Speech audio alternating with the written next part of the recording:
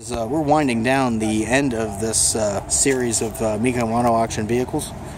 Uh, this is the car that speaks to me the most. That is of all the cars that are here.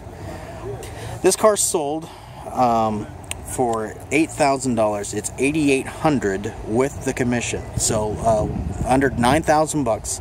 It's seventy six Fleetwood. Of course, it's a Cadillac Fleetwood. Uh, 75 limousine um, absolutely gorgeous. You can see inside there. There's where the occupants would sit in the back. You have the footrests, and then you have jump seats.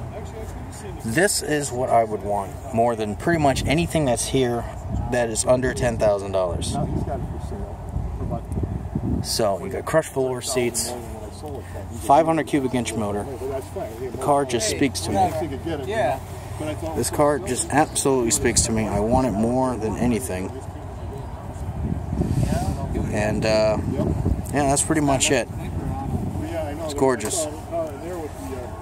Yeah, this is what I wanted. It sold two days ago. Well, maybe someday. Anyways, um, bad news is I have not found the Cyclone uh, Marble Edition or the GNX.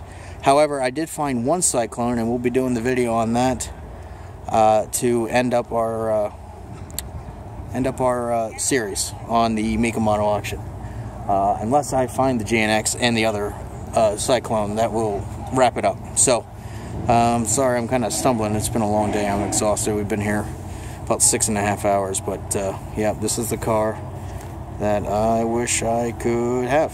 Okay. Thanks for watching.